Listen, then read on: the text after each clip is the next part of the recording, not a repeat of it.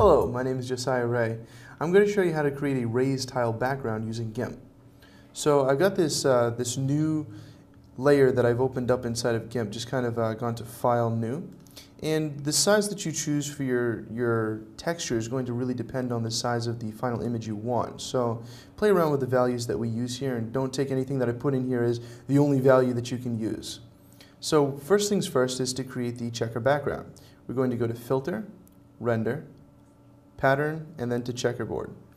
And you'll see that this checkerboard is red, and that's not really the color I want. This is going to mess us up a little later on. So I'm going to hit Cancel. And the reason that it is red is because that's the current color I've got selected. So I'm going to come over here to where it shows red, click on that, and go to black. Now we're going to go Filters, Render, Pattern, Checkerboard. And uh, I found that a size of about 50 for this size canvas works pretty well. I say OK. And now we're going to duplicate this layer. So select the layer over in the Layers panel and push Duplicate. And with the new layer selected, I'm going to click the Move tool and begin moving it a little bit. Now to see what this effect is having, I'm going to click on the layer and choose for its, uh, its display mode, multiply. And this is looking uh, pretty horrible, but bear with me. We're going to push it off to the, to the upper left corner just a little bit.